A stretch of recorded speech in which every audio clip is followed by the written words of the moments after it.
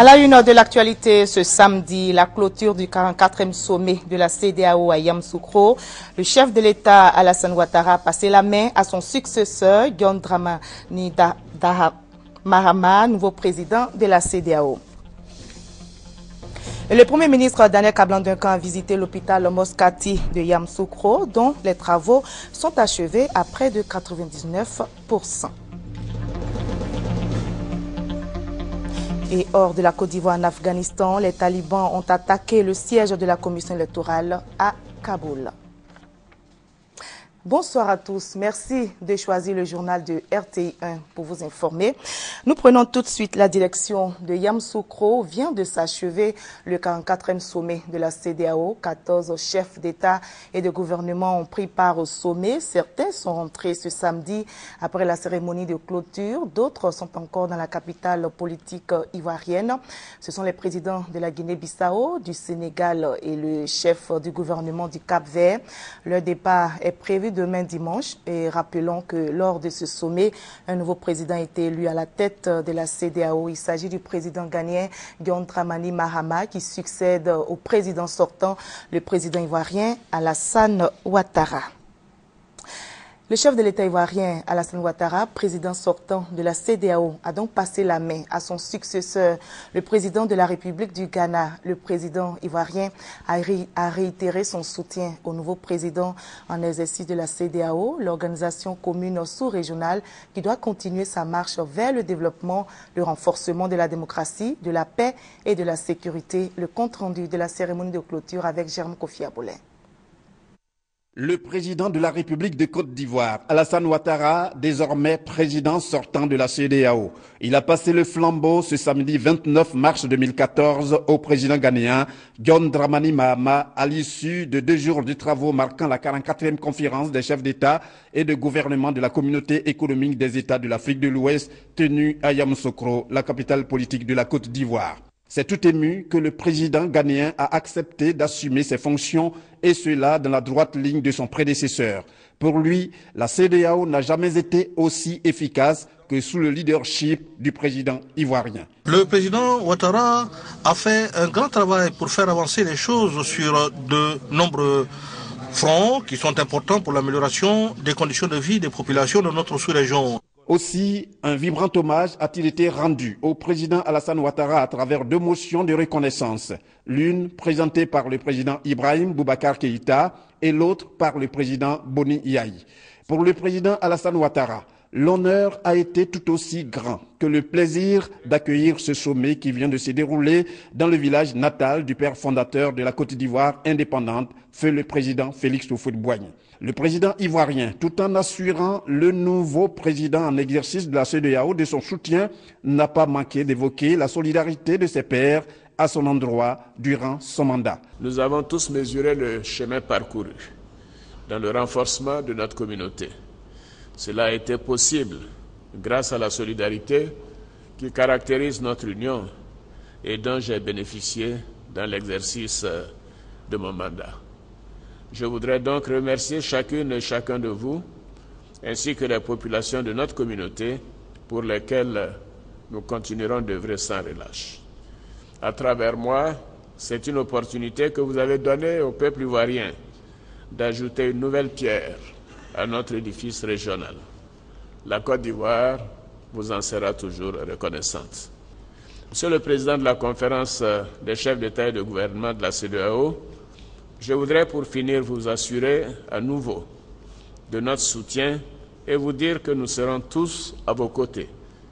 Je sais que la CDAO est entre de bonnes mains et continuera sa marche vers le développement, le renforcement de la démocratie, la paix et la sécurité. Je suis certain qu'avec vous, notre organisation connaîtra de nouveaux succès pour l'amélioration du bien-être de nos populations. L'hymne de la CDAO a été entonné par la suite. Juste une façon pour la conférence de saluer l'avènement de John Dramani Mahama qui succède ainsi au président Alassane Ouattara. Le prochain sommet ordinaire de la CEDEAO va se tenir à Abuja, la capitale du Nigeria. Et avec Awatore, nous allons suivre à présent le communiqué final de ce 44e sommet de la CDAO.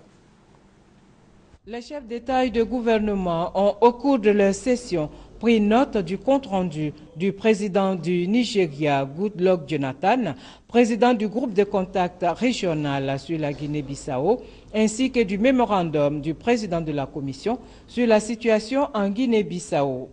Ils ont également pris acte des comptes rendus des présidents Mahamadou Issoufou du Niger, Macky Sall du Sénégal, Alassane Ouattara de Côte d'Ivoire et Blaise Compaoré du Burkina Faso sur les points relatifs à la monnaie commune, aux négociations de l'accord de partenariat économique avec l'Union européenne, au transport aérien et à la libre circulation des personnes et des biens.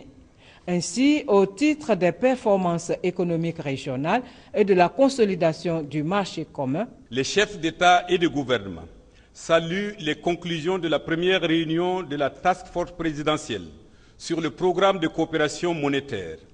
Ils entérinent l'approche progressive proposée pour la réalisation de l'union monétaire à l'horizon 2020.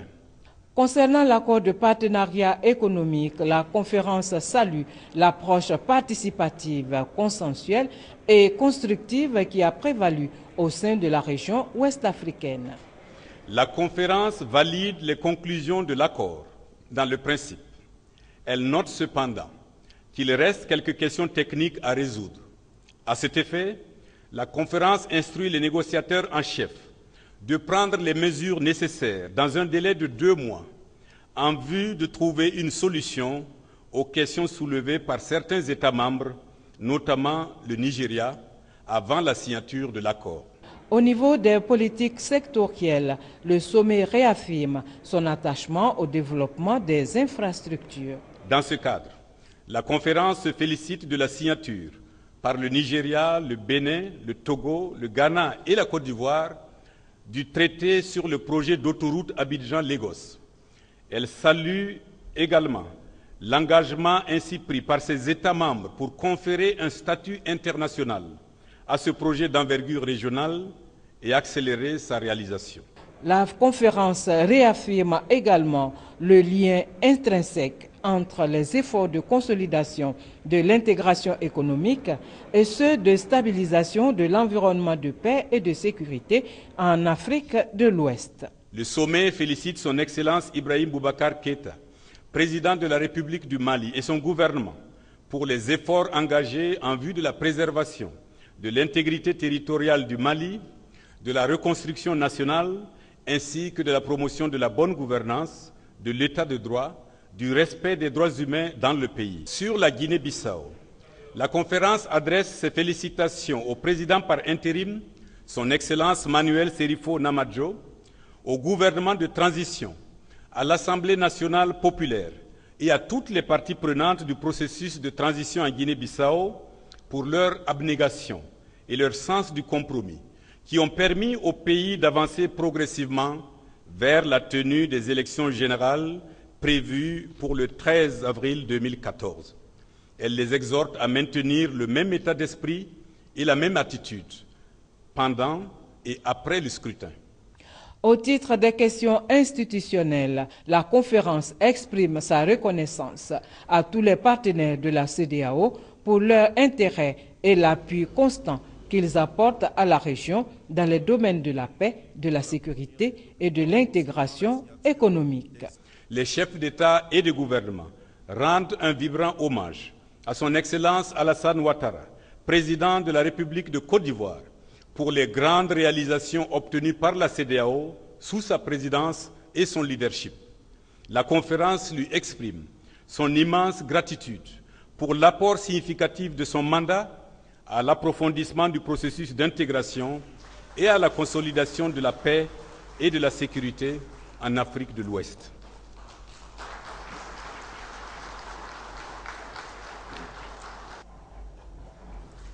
Et un dîner a été offert aux participants, c'est-à-dire aux chefs d'État et de gouvernement présents à, Yamsokro pour ce sommet.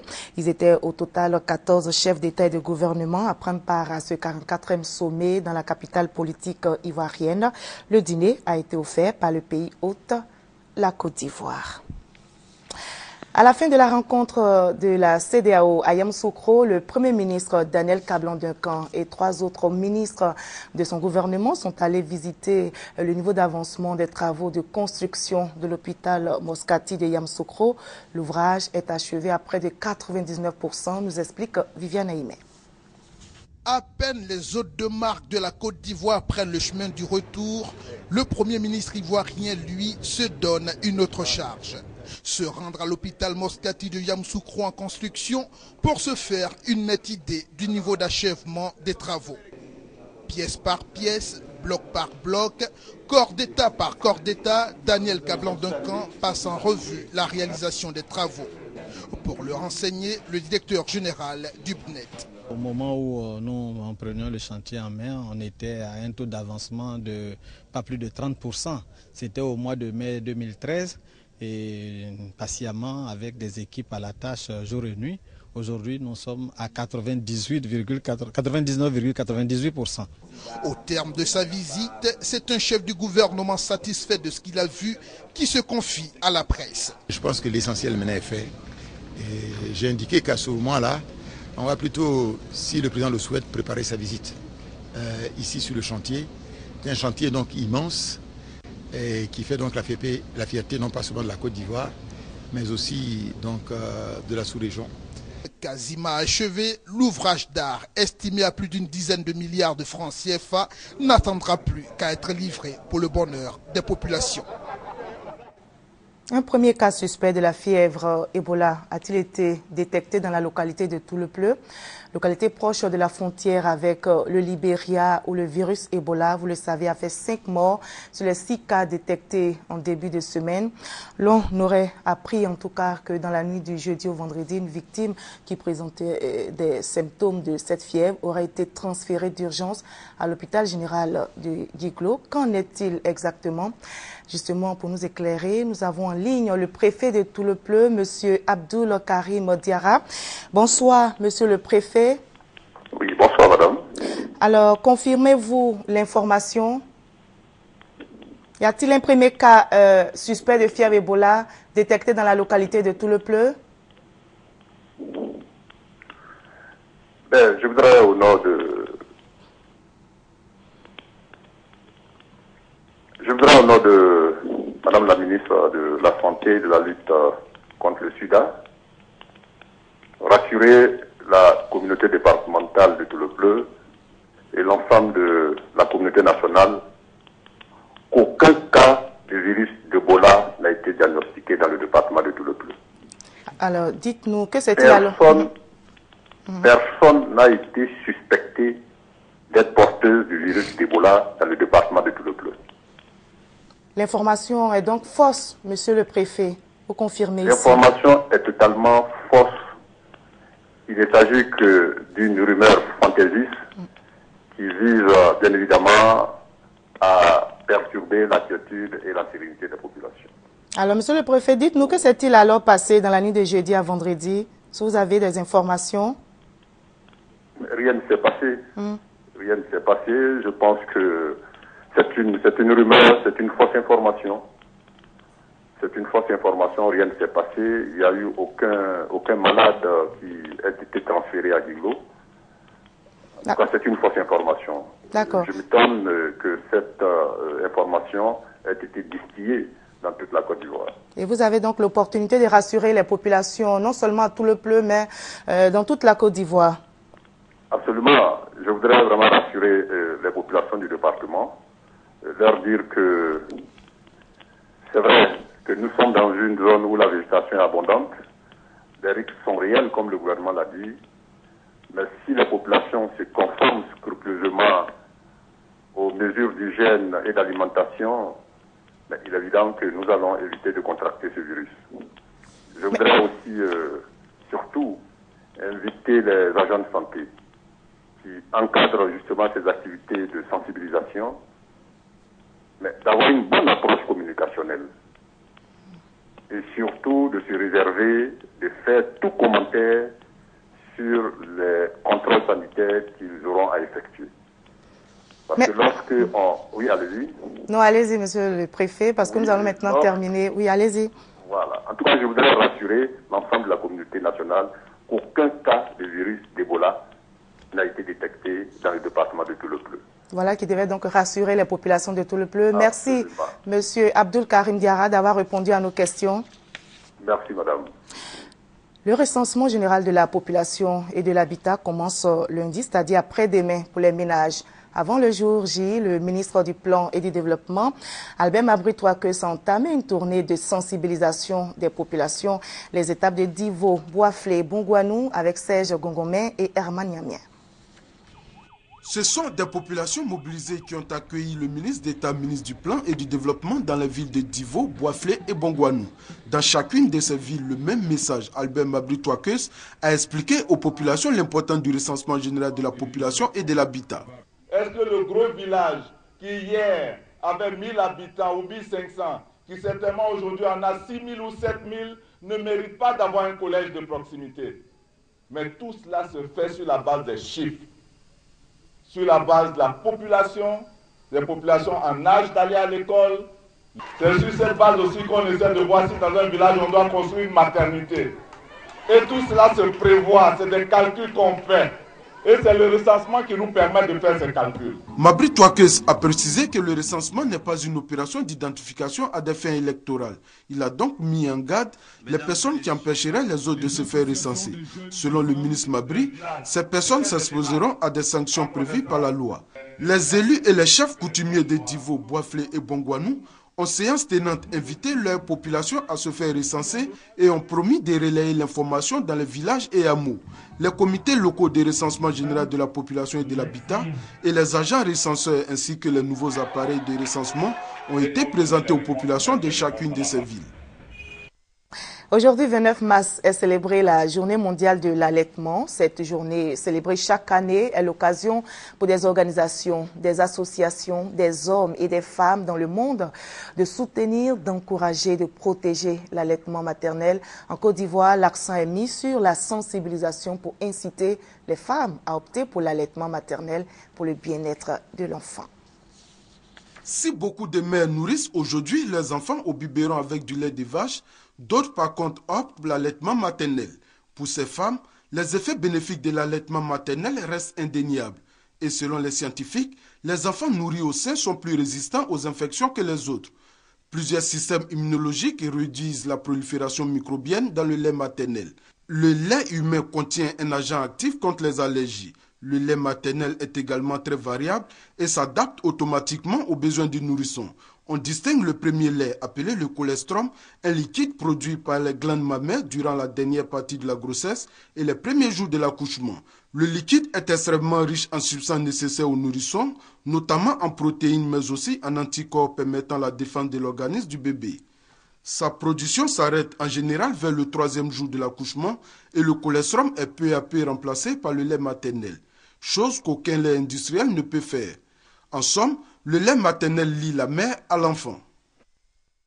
Et c'était un commentaire d'Herman Yamien. Le président de l'ONG ALACO, la Ligue africaine contre la corruption, a organisé une conférence sur les nouveaux instruments de lutte contre la corruption. L'ONG veut inviter les populations à tourner le dos à la corruption. La corruption est sans aucun doute une gangrène pour un État. Le gouvernement ivoirien, conscient de cela, multiplie les actions pour une lutte efficace contre le fléau, notamment des campagnes de lutte contre la corruption et la création d'une haute autorité pour la bonne gouvernance. L'ONG ALACO, la Ligue africaine contre la corruption, qui œuvre dans le domaine à travers cette conférence, entend vulgariser ses actions afin de permettre aux populations de se les approprier pour une lutte efficace contre le phénomène. Le président de l'ONG ALACO s'est réjoui de la création de la haute autorité pour la bonne gouvernance. Cependant, il fait des propositions pour le bon fonctionnement de cet organe. Au niveau de la haute autorité, eh bien, euh, il y a certaines dispositions qui ne nous, euh, qui nous conviennent pas. Il s'agit d'abord de la composition des membres. Nous aurions voulu, par exemple, que cette haute autorité soit composée de façon tripartite, c'est-à-dire administration publique, secteur privé et euh, société civile. Malheureusement, ce n'est pas le cas. Nous encourageons le, gouvernement à regarder également de ce, de, ce côté-là. En plus de ces deux éléments qui ont été pris en compte, l'instauration de juridictions anticorruption pour aider la haute autorité qui a été mise en place pour gérer de façon exclusive les problèmes de corruption en Côte d'Ivoire. L'ONG Alaco, créée le 15 juillet 2000, s'est fixé comme objectif principal la lutte contre la corruption. À ce titre, elle se donne comme moyen de lutte l'éducation, la sensibilisation des populations, la proposition des méthodes de lutte au gouvernement, la dénonciation des corrompus et corrupteurs, la célébration de l'excellence et la lutte contre la pauvreté. Et on parle maintenant d'un retour des taxes rurales pour contribuer au renforcement des ressources des collectivités territoriales. Le retour de ces taxes est une décision des conseils régionaux de Côte d'Ivoire, nous dit Mamadou Kwasi. Créés pour le développement local, les conseils régionaux disposent de programmes et projets pour la prise en charge des jeunes et des femmes, et aussi pour le bien-être des populations de leurs différentes régions. Mais les ressources mises à leur disposition par l'État de Côte d'Ivoire s'avèrent insuffisantes pour satisfaire les besoins de leurs administrés. Chaque conseil régional met en place une politique de recouvrement afin d'assurer ces investissements. Celle-ci concerne les taxes rurales. Nous allons donc installer les collecteurs dans les grands centres, les gros villages, les chefs-lieux de sous-préfecture en attendant la communalisation et que ces taxes qui vont être prélevées doivent servir hein, au développement des localités concernées. Il y avait déjà ces taxes qui existaient, mais la gestion n'a pas été celle qu'il fallait. Selon le président du conseil régional de l'Indéné Djoablé, Abinan Kwaku Pascal, des dispositions sont prises afin d'assurer une bonne gestion de ces ressources financières. Les chefs de village seront consultés pour la nomination de ces collecteurs. Et lorsque nous allons les nommer, il y aura un régisseur qui sera également nommé au niveau de la région pour gérer ces fonds et nous allons utiliser ces fonds comme des recettes additionnelles hein, au budget euh, de la région. Il faut rappeler que les attentes des populations vis-à-vis de ces structures décentralisées sont énormes et de telles initiatives pourront véritablement contribuer au développement des différentes régions de Côte d'Ivoire. Le cas de l'Indéné Djoablé pourrait servir de modèle. L'initiative libérale de Côte d'Ivoire vient d'organiser deux ateliers de formation. L'objectif est d'informer les populations sur les valeurs fondamentales du libéralisme et surtout les sensibiliser sur la portée des actions de développement du président Alassane Ouattara. Voyons cela avec Gabriel Zani. Le libéralisme pratiqué par le président Alassane Ouattara depuis 2011 est un libéralisme à visage humain, car il met l'homme au centre des actions de son programme de société. Cette idéologie humaniste doit être connue de tous. C'est pourquoi l'initiative libérale de Côte d'Ivoire, une organisation dirigée par le député Sié Koulibaly, entreprend des formations et des campagnes de sensibilisation des populations. Des députés, des membres des conseils municipaux de Yopougon et d'Anyama ont bénéficié de formations qui ont porté sur les fondamentaux du libéralisme définis en 24 points. Pour Sié Koulibaly, le chef de l'État Alassane Ouattara construit la réalité commune et sociale à travers les grands chantiers de développement, notamment le troisième pont, l'autoroute du Nord, le barrage de Soubri. Après Yopougon et Anyama, la caravane de sensibilisation de l'initiative libérale de Côte d'Ivoire va s'étendre sur toute l'étendue du territoire national pour permettre aux leaders d'opinion et aux communautés villageoises de s'imprégner de la volonté politique du chef de l'État une délégation de l'Union internationale démocratique est actuellement en Côte d'Ivoire. Elle a été reçue par le secrétaire exécutif du PDCI RDA, parti membre de cette organisation. Et les échanges entre Maurice Kakoudikawe et ses hôtes ont porté, entre autres, sur la promotion de la femme dans les partis politiques. Le reportage de Victorine Yaouyopoué. L'Union démocratique africaine, UDA, regroupe tous les partis politiques de centre-droite en Afrique, dont le PDCI-RDA. C'est à ce titre que le secrétaire exécutif du PDCI-RDA reçoit une délégation de l'UDA pour parler de démocratie, de liberté et de paix, valeurs chères à l'organisation. L'UDA milite aussi pour la promotion de la femme dans les partis politiques. Elle a une stratégie, renforcer leur leadership. Nous sommes venus saluer nos chers amis du PDCI RDA et nous sommes venus pour une conférence pour former les femmes sur comment mener leur débat pour qu'elles puissent être capables, quand elles retournent chez elles, de pouvoir débattre, avoir des débats politiques avec leurs opposants, de pouvoir convaincre parce qu'elles sur le terrain. La conférence est prévue ici à Abidjan les 29 et 30 mars. 28 femmes au total vont être formées à la communication. Les participantes viennent de plusieurs pays africains dont le Ghana, le Botswana, le Kenya et la Côte d'Ivoire. Le ministre d'État, ministre de l'Intérieur et de la Sécurité, Ahmed Bakayoko, s'est rendu cet après-midi dans la famille de feu Awa Fatiga, décédé le lundi dernier des suites d'une agression. Le ministre d'État est allé présenter les condoléances du chef euh, de l'État et du gouvernement. Apporter le soutien et la compassion du chef de l'État et du gouvernement.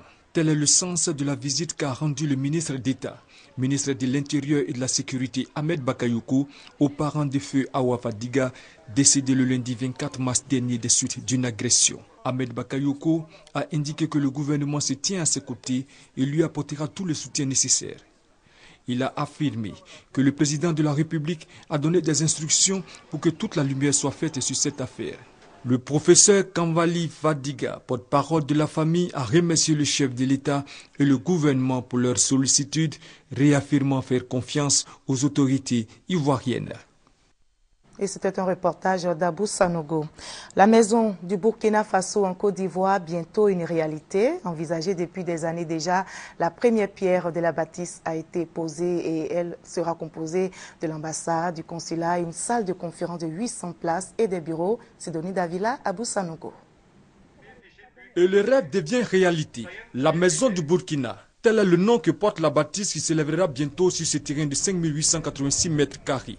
20 ans après l'octroi de ce terrain du gouvernement ivoirien à celui du Faso, les autorités décident enfin de la mettre en valeur. La pose de la première pierre marque ainsi le démarrage des travaux de construction. Situé dans la commune du Plateau, cet immeuble, haut de 17 niveaux, est composé de deux parkings sous-sol, un rez-de-chaussée et 15 étages. Il va abriter l'ambassade, le consulat général, une résidence, une salle de conférence de 800 places, une salle d'exposition et d'autres bureaux. La présence des autorités ivoiriennes et burkinabè témoigne de l'intérêt accordé à la consolidation de leur coopération à travers cette représentation diplomatique. Le projet que nous ambitionnons de réaliser est l'initiative de la communauté burkinabè en Côte d'Ivoire qui, à l'occasion d'un séjour de son Excellence Blaise Compaoré, président du FASO en Côte d'Ivoire, a exprimé le souhait de voir réaliser une chancellerie moderne et digne de la représentation du Burkina Faso à Abidjan. La cérémonie de ce jour est une étape décisive dans la consolidation de nos relations diplomatiques historiques. Aussi voudrais-je vous assurer de la totale disponibilité du gouvernement ivoirien à accompagner votre pays dans la réalisation de cet important projet la maison du Burkina, cette bâtisse dont la réalisation a été confiée aux Turcs, est estimée à environ 20 milliards de francs CFA. Je vous propose le reste de l'actualité dans le monde en bref et en images. Commençons par l'Afghanistan en proie à de nouvelles violences. L'attentat à Kaboul contre le siège de la commission électorale elle intervient au lendemain de l'assaut contre une auberge qui abritait des étrangers. Lors de cette attaque, un enfant avait été tué par un kamikaze qui s'est fait exploser à l'extérieur du bâtiment. Les deux attentats ont été revendiqués par les talibans. Ces nouvelles violences interviennent à une semaine seulement du premier tour de la présidentielle, des présidentielles que les talibans ont promis de perturber. Des dizaines de milliers de manifestants dans les rues de Bangkok samedi contre le gouvernement. Les manifestants menés par le chef de l'opposition Soutep Sokuban ont encore une fois demandé la démission du Premier ministre Yingluck Shinawatra. Cette nouvelle démonstration de force du mouvement anti-gouvernemental intervient à la veille des élections pour la Chambre haute du Parlement, dont les membres pourraient décider du sort de la Première ministre thaïlandaise. Le président Barack Obama était en visite à Riyad vendredi. Objectif discuter avec les dirigeants saoudiens des moyens de renforcer politiquement et militairement l'opposition syrienne modérée. Le président américain a affirmé au roi Abdallah que les intérêts stratégiques des États-Unis et de l'Arabie saoudite restaient alignés. Il a également cherché à dissiper les appréhensions de Riyad au sujet de la politique américaine sur le programme nucléaire iranien. Ils ont enfin pu mettre leur bague de mariage. Les Britanniques Peter McGrace et David Cabreza étaient l'un des premiers couples à profiter de la nouvelle loi qui permet à des couples de même sexe de se marier. Quelques secondes seulement après l'entrée en vigueur de la loi et après 17 ans de vie commune, ils se sont dit oui à Londres devant leurs amis et supporters. La loi historique marque une étape importante dans la lutte pour les droits des homosexuels. La Coupe du Monde au Brésil, c'est bientôt. Nous avons en ligne Alain Doumia de RTI 1 pour nous faire euh, le point du, au stade de Sao Paulo en travaux. Bonsoir, Monsieur Alain Doumia. Bonsoir, Monsieur Alain Doumia. Quel, oui, euh, quel est l'état des lieux? Marie-Laure Ngoran. Alors, nous sommes ici à Brasilia, après Sao Paulo, la capitale économique. Nous sommes ici dans la capitale euh, administrative et politique. Et après avoir rencontré son Excellence l'ambassadeur de Côte d'Ivoire au Brésil, son Excellence Aka Sylvestre, nous nous retrouvons ici dans le stade de Brasilia, le stade national de Brasilia, qui va recevoir le jeudi 19 juin prochain le match Colombie-Côte d'Ivoire à 16h GMT. Et pour cela, nous sommes avec M. Nelson Souza Aguiar, attaché de presse de l'unité de communication pour la Coupe du Monde 2014 de Brasilia. En tout cas, merci d'avoir accepté notre invitation. Hein. Nous sommes dans un stade, dans une enceinte superbe. Elle a été construite quand?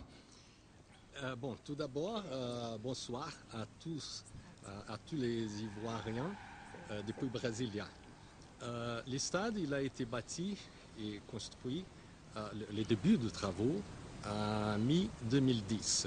L'inauguration euh, s'était passée au mai, euh, 18 mai 2013, l'année dernière. Et ce stade porte un nom célèbre. C'est un, un, nom célèbre et aussi magique. C'est le nom de Mané Garrincha, un ancien joueur qui nous a, nous a enchanté beaucoup à l'occasion de, de, de la Coupe du Monde de 68 euh, quand le Brésil a été champion pour la première fois. Et aussi, il a été champion à 62, euh, également avec Pelé, toujours avec Pelé. Euh, Garrincha a joué euh, au Botafogo, une équipe de Rio, à la sélection. Mm -hmm. Et tous les Brésiliens, n'importe qui ils supportent, okay. tous les Brésiliens l'aiment beaucoup. Alors, Nestor, dites-nous, est-ce que Brasilia est prêt Est-ce que Brasilia est prêt à recevoir cette Coupe du Monde? Nous, en tant que ville haute, nous travaillons beaucoup pour bien recevoir euh, tous qui viennent euh, pour la Coupe du Monde, euh, le, les supporters, et spécialement les supporters ivoiriens, vous êtes les très bienvenus. les délégations, les équipes, les joueurs et les presses, la presse également. Et nous, sommes prêts, dans ce qui concerne le stade, nous sommes prêts à les recevoir et donner beaucoup de sécurité et de confort. Alors c'est sur cette pelouse toute verte, la superbe pelouse sur laquelle vont évoluer les éléphants de Côte d'Ivoire. C'est une super pelouse pour des super joueurs comme euh, Droba et aussi Touré. Nous sommes très contents de, pouvoir les voir euh, euh, sur place. C'est fantastique l'occasion. Et nous espérons voir un match, ce que nous appelons le jeu beau, le foot art. Et nous savons que la Colombie, du côté sud-américain, la Côte d'Ivoire du côté euh, de l'Afrique, africain, euh, sont très capables de nous donner un, un, jeu intéressant et amusant aussi. Merci Nelson, c'était Alain Doumouya depuis Brasilia. L'équipe dirigée par le DGA Yo Adama se rendra euh, dimanche du côté de Recife où la Côte d'Ivoire affrontera le Japon. Merci Alain Doumia qui était donc au stade Brasilia. Place maintenant à la page culture de ce samedi 29 mars.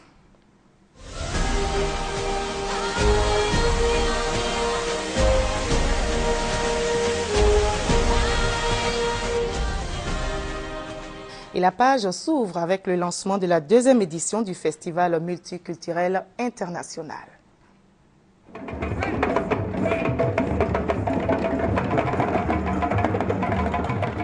Une animation particulière ce vendredi après-midi. Nous sommes sur l'esplanade de l'hôtel du district dans la commune du Plateau. Mélodie chantée, de la danse, des jongleurs, des acrobates et des tenues vestimentaires colorées sont à l'honneur.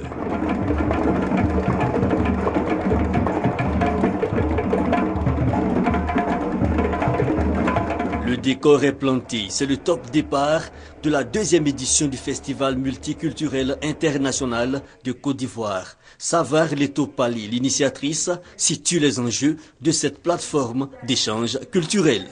Chaque pays aura la possibilité de présenter ses mets, aura la possibilité de présenter euh, sa culture. C'est-à-dire, on pourra voir les danses, on pourra voir euh, aussi euh, des échanges, puisqu'il y aura un colloque. C'est-à-dire, cette année, on donne la possibilité vraiment au grand public d'être plus proche, je veux dire, des pays accrédités ou pas qui sont là. On pourra apprendre des Japonais, parce que les Japonais participent. On pourra apprendre des Chinois, parce que les Chinois participent cette année. On pourra apprendre des, des pays de la CDAO. Le Festival multiculturel international de Côte d'Ivoire, de temps fort un village multiculturel pour les chants, la danse, le carnaval, la gastronomie et les expositions sur le site du canal au bois de Trècheville et un dîner gala de bienfaisance. Ce sont au total une trentaine de pays qui verront leur culture célébrée. Le reportage d'Ève Aubou était commenté pour vous par Franck Quadio. Interville, l'émission à succès de la RTI est diffusée depuis décembre 2013. C'est une émission de jeux concours destinée aux jeunes de Côte d'Ivoire. La finale se déroule ce samedi 29 mars au Palais des Sports de Trècheville et notre reporter Serge Collier est sur place. Bonsoir Serge. Dites-nous l'ambiance sur le terrain et combien de groupes sont en compétition?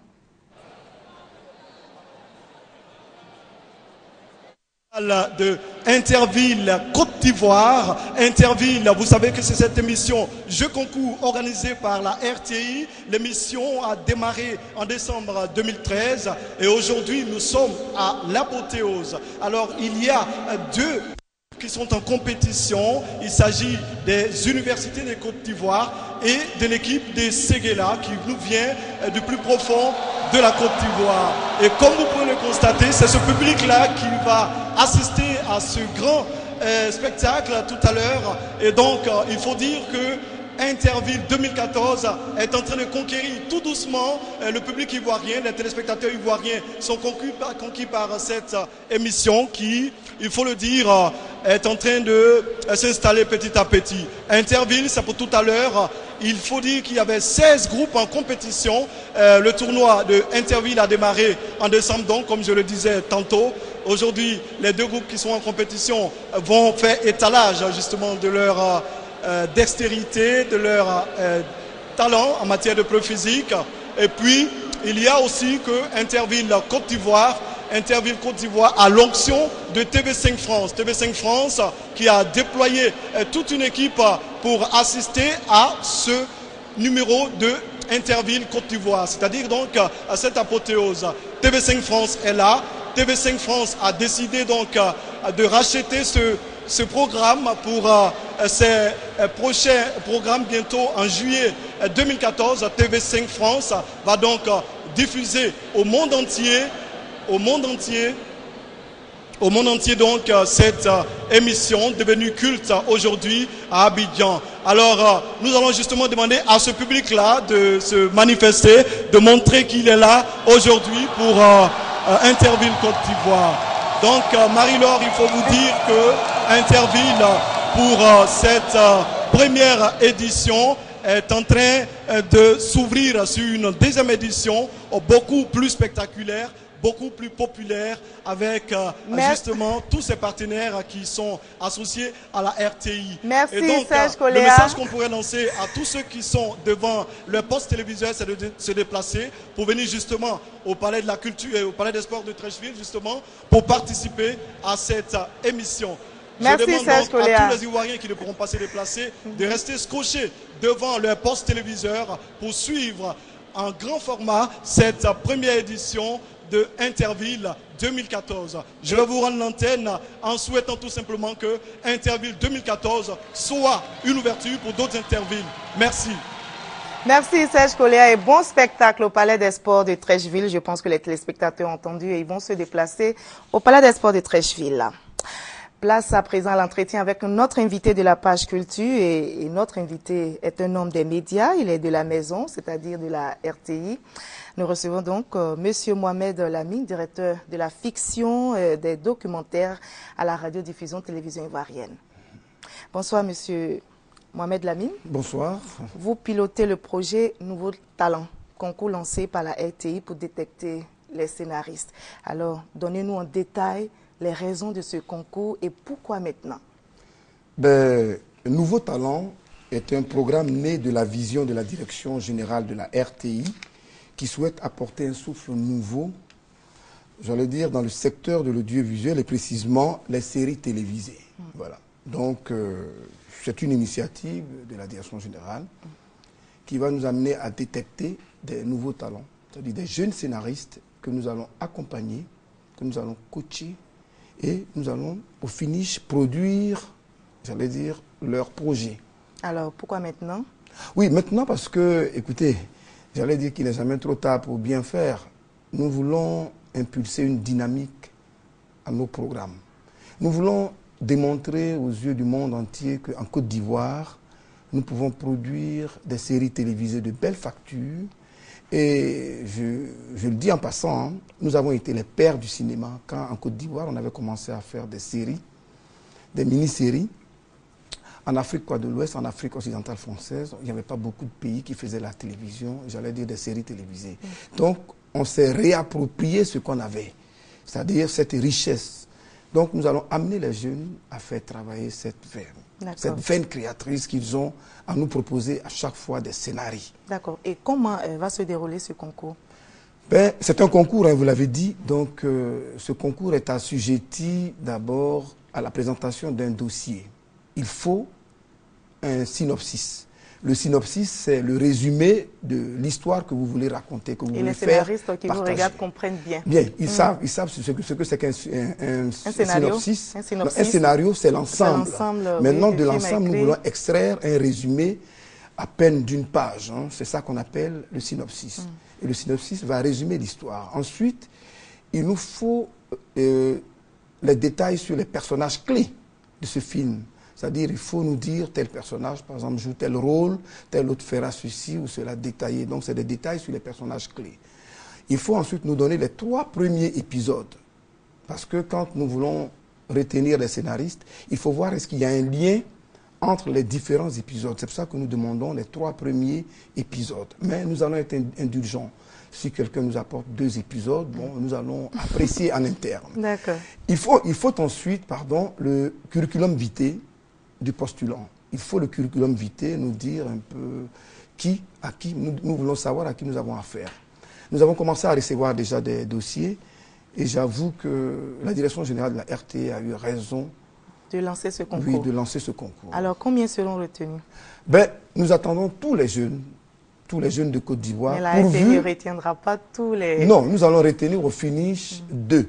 D'accord. Que nous allons coacher deux former deux scénaristes. que nous allons coacher, former et accompagner jusqu'à la production de leurs œuvres. D'accord. Bon, il faut. Quand vous parlez d'accompagnement, est-ce que vous pouvez être plus concret? Mais l'accompagnement, c'est-à-dire que nous avons retenu euh, un collège d'experts composé de Mme Marguerite Aboué, qui a une notoriété en matière de scénario. Nous avons retenu, monsieur, vous avez connu Aya de Yopougon, la bande dessinée. Oui. C'est elle la réalisatrice.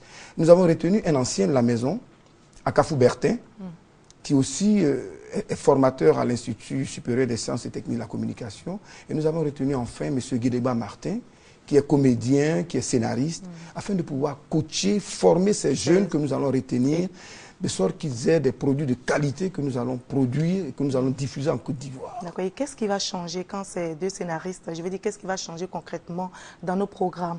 Mais dans nos programmes, nous aurons des séries télévisées et qui seront proches. Il y a RTI 1, RTI 2, voilà. Donc tous nous ces allons agir, bien sûr, nous allons agir sur les deux chaînes.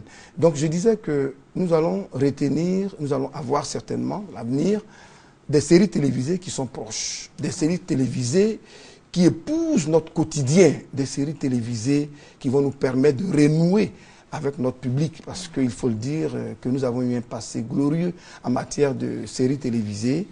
Euh, je pense que nous sommes prêts à relever un défi parce que les téléspectateurs ivoiriens nous attendent. Et ils percevront donc ce changement. Alors, comment va se passer la collaboration avec les scénaristes qui ben, Ils doivent euh, constituer le dossier dont j'ai parlé tout à l'heure, c'est-à-dire synopsis rapidement, les trois premiers épisodes, le curriculum vitae, et puis j'allais dire parler des personnages clés, un détail sur chaque personnage clé de leur film, et ensuite ils vont au Burida, parce que nous avons associé le Burida pour protéger un peu l'œuvre.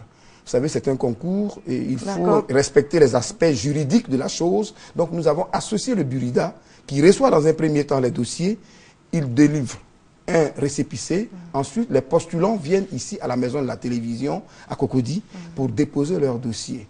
Et un expert, comme j'ai dit, nous allons ensuite leur faire appel. Nous allons faire appel pour justement Ils dire...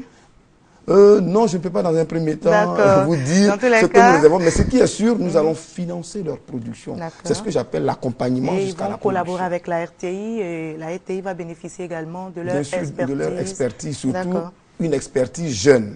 C'est pour ça que le projet s'appelle Nouveau Talent. Et la RTI a bien pensé. Merci beaucoup, Monsieur Mohamed Lamine, euh, d'avoir été avec nous sur ce plateau. Je voulais simplement dire que c'est réservé aux jeunes de 40 ans au plus. Ça, c'est important. Et le concours démarre? Et ça, a déjà démarré depuis le lundi dernier. Et, il se poursuit jusqu'au 6 avril 2014. Nous attendons donc les dossiers. Merci beaucoup.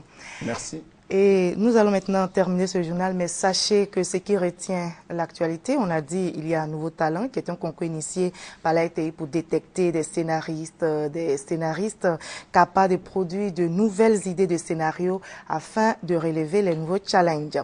Et pour le bonheur des téléspectateurs, la RTI diffuse depuis décembre 2013 l'émission à succès Interville. C'est une émission de jeux concours destinée aux jeunes de Côte d'Ivoire. La finale se déroule euh, au Palais des Sports de Trècheville, c'est ce soir même et tous les téléspectateurs sont invités. 16 groupes sont en compétition. Et l'autre actualité, c'est le 44e sommet de la CDAO qui s'est achevé aujourd'hui à Yamsoukro. Le chef de l'État ivoirien Alassane Ouattara, président sortant de la CDAO, a passé la main à son successeur, le président de la République du Ghana. Le président Alassane Ouattara a réitéré son soutien au nouveau président en exercice de la CDAO, l'organisation commune sous-régionale qui doit continuer sa marche vers le développement, le renforcement de la démocratie, de la paix et de la sécurité. Merci à vous tous de nous avoir suivis. À 23h, retrouvez Hamza Diaby.